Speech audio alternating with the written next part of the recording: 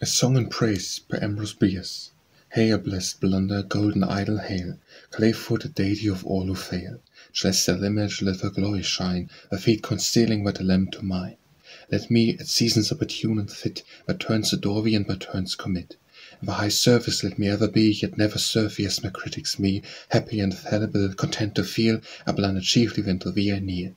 But best felicity is his by praise, art thus unaware in works and ways, Who laborare est orare approves, And feels thy situation wheresoe'er he moves, Serving thy purpose, not thine altar still, And working, for he thinks that his will.